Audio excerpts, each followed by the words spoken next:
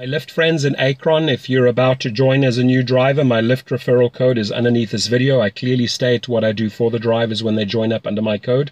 If you signed up in the past and you forgot to put in a code, I'll show you how to still get that bonus. Have a great day.